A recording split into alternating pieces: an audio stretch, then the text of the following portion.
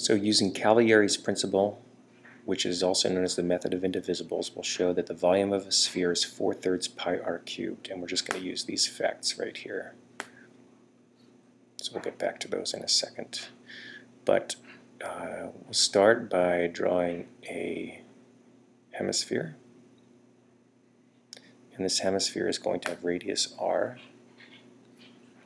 so that we'll make the height here also r, right, the distance from there to there. And we are going to have a cylinder over here, also of, of height r. And from this cylinder, we are going to cut out a cone that's facing down like this. So here, cut a cone. Oh, and the radius of this cylinder and the cone is going to be r.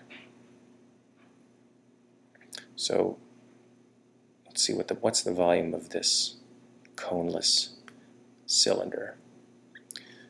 Well, we just said that the height is the height is r and the radius is r, so the volume of the cone is one third pi r squared times r, which is one third pi r cubed, and likewise the volume of the cylinder is pi r squared times r, which is pi r cubed, and if we have pi r cubed and we take out one third pi r cubed, then the volume here is two thirds pi r cubed. And we're going to see why that this this uh, hemisphere is um, the volume is the same as the uh, coneless cylinder. So how are we going to do that? Let's imagine we take a sword and we cut through at height h.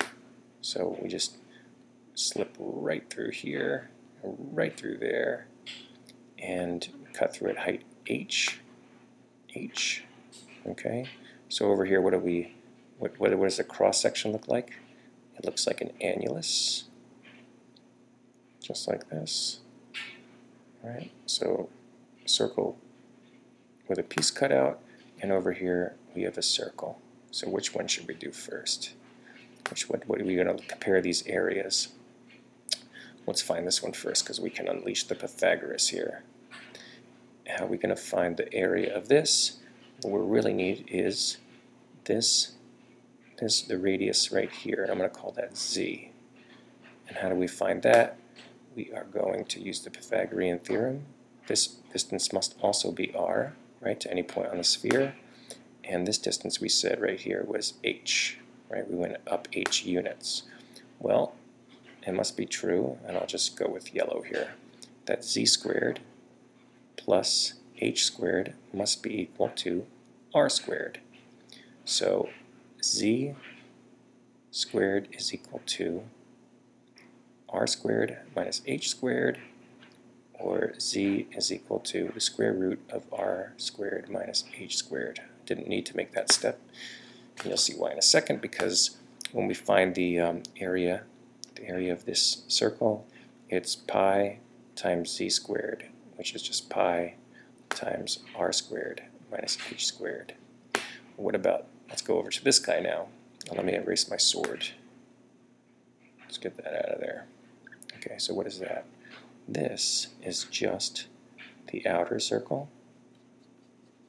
Subtract the inner circle. Well, with the outer circle, the radius is r. And the inner circle, I should do this in What's the, what's the radius of the inner circle? Well, if we go um, up h, since this is, uh, this is proportional, it's up r, right? From here to here, it's up r and over r. If we go up h, it must be over h. So this distance, I should do it in blue, this distance right here is h. So we have that distance right there is h. And areas pi r squared minus pi h squared gives us pi r squared minus h squared. That's the area of this. So if each of these um, cross sections have the same area, then when we sum up all of these areas, it must be true that the volume inside, the volume of this coneless cylinder must be equal to the volume of this hemisphere. Well, we just said the volume right here of the coneless cylinder is 2 thirds pi r cubed. So the volume of the sphere is twice the volume of the hemisphere, which is twice the volume of our coneless cylinder.